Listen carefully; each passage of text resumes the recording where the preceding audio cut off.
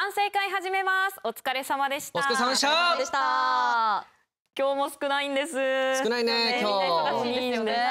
ね拓司郎くんと道明くんがあの中継に出ていて、はい。ちょっと間に合わないっていうことでね。そうなんですよ。ね。新札幌行ってますから。ね。あとマリモさんははい。これからレッドブル400に向かうということで、はい、大倉山で。世界一過酷な400メートル走と言われているあのはい。レッドブル400経験者は？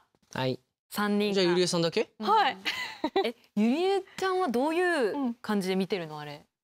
いやー大変そうだなーって思って。そその100倍大変よ。あーねこのよくみんな言うのよ。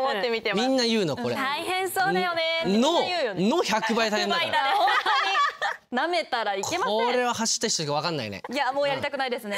ねえそう本当ですよ。なんかこの時期になるとちょっと私そわそわしちゃう。の、うん。もう編集長とかになんか謎に呼び出されたりとかな内容の知らされないロケとかが入ると「えくるんちゃんくるんちゃん」みたいな。怖いね。あー怖いのすっごい。この時期はトラウマですよね。ね。うん。あのい僕らが今まで4回出たのかな？えすごいわ。全部で。いや四4回出てすごい。1回目が3位2回目が優勝。すごい。ですごい。3回目2位とかだったんですけど、ん。で1回目3位取った時に、僕とか拓司郎はリレーの方でたけるはソロで行ったんですよ。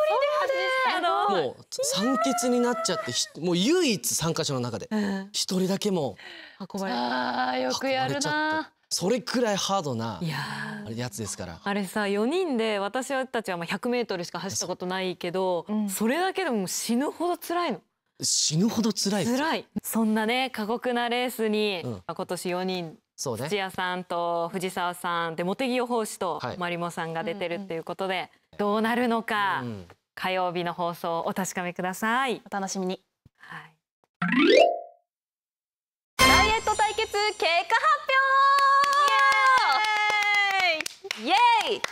なんなになになにこれ。ついにやってきましたね。ついについにこれ。うん。3日前ぐらいのことまでしか覚えてないそうなんです。最近も。いやいやいや。3ヶ月前とかでしょ？二人で一緒に痩せようって言ってたじゃないですか？覚えてる。覚うん。1月27日の今年の目標を発表するという一問に反省会でおはい。二人が痩せるっていうねうん。目標を立てていたんですけど。出たかもしれないね。でそれぞれうん3キロ痩せるっていう。福永さんはその目標が達成できなかった場合、うん。うん。覚えてますか？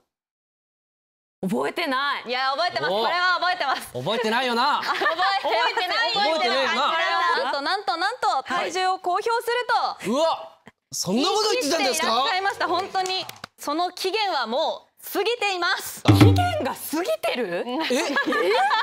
なんで初耳えー？なんですか？こっちがびっくりですよ。え？期限ってまだ今中盤ぐらいだと思ってましたよね。ね？待って待って会う待って。会うたび会うたび。え？ほらほらほら。ら3ヶ月なんか映4り込んでますよ。月末までに痩せようって言ってて。なんか備品映り込んでますよ。これすいません。体重計も今回スタッフが用意しました、はい、え？ガチだ。ガチじゃん。ちょうどさっきのオンエアの前に、はいポテトチップスを食べてる 福永さんえをちゃんと目撃して先ます輩？違う違う違う違う違う。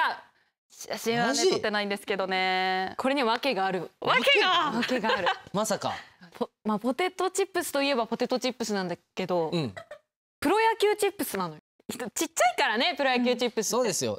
普通のあれよりもね うん。ちょっと容量少なめでそうそう。ですから。であの一二枚食べて周りのスタッフにあげようと思ってたの。お。うん。あげようと思ってたんだけど、なんか周りのスタッフなんか忙しそうで、私近くで話しかけられ話しかけられなかった。そうなんかうん。一二枚食べててなんかま様子を伺ってたら気づいたらなくなってたの。うわあーポテチあ神隠しだな。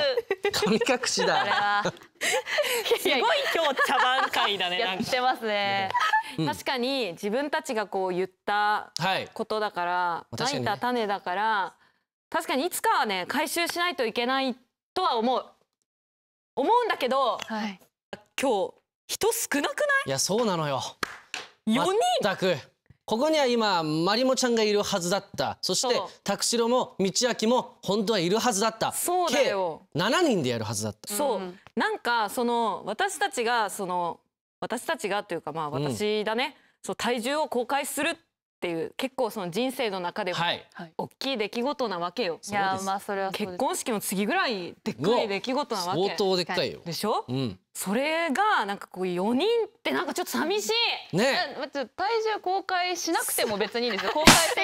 公開するってなってましたけど。あの発生すれば見せなくてあーそうかそうか。ポケポケツ掘ったね。そうそうそう。一個普通にアドバイスとして言うと、うん。まあ伸ばせば伸ばすほうんどダイエット期間って長くなると思うんですけど、まあでも伸ばせば伸ばすほどより体重を減らせるっていう。そうそうそうそう。だよね。だからその目標が今達成してるかどうかはさておいて、さらに減らすことができるっていう。そう。ってなったら、新たななんていうそうそう。階段をねそうそうそう。登れるんです。どんどん目標をこう上げて、つつまりえっとマイナス3キロでしたけど、うんマイナス5キロとか。それは違うよ。何言ってんの？バカなの？本当本当に。何言ってんの？本当に。何言ってんの？本当にアナウンサー。伸びればもっと違う違う。まあ余談として、うん。まああの私まあ4月の2829に、あのノールの同心ライブがあって、はいプラス今やってるあっちこっち佐藤さんの稽古、そしてさらに6月に控えたオーパーツ鈴井会長の舞台。忙しいな。この。3つを、ん。あの並行してやっていたおすごいすごい。うんことにより、うん。暴食による暴食を重ねてしまう。あ逆にですか？うん、だってそんなに忙しいんだよ。食べないと。そうね。エネ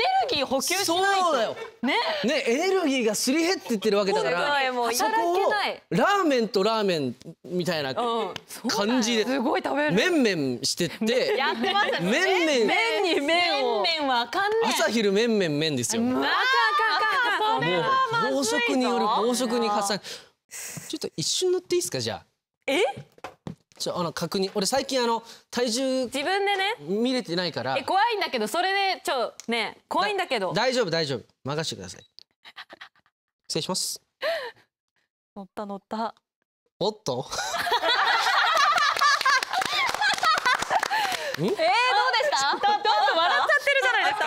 え、ひかるくんはしかも、えー、1月に体重を公開していましたよね。数字も言ってました。62、3ぐらいだったかななるほどなるほど。今言っちゃいまあす？そっかこの今日の衣装重いやつだわあとマイクついてる。そうだよ、うんマイクで1キロぐらいないっけこれあるある。1キロぐらいないっけ絶対にないです。マイナスプラス。達成。たうんいやプラスでしょプラスになってた？うんレッドブルで言うと、うん。今もう第三走者後半よ。もう私は来てるよ。来てる？うん。俺まだ走ってない。ひかるくんはゴール地点から交代してるし。そんな俺まだ多分大倉山についてない。丸山公園ぐらいうんまあそんくらいですね。田口裁判長に次の日程を決めてもらいましょう。いやまずいいやそれ人が多い日よ田口さん。じゃじゃあもうパンって言ってください。私？はい。では言い渡しましょう。お願いします。カンカン。はい。田口裁判長。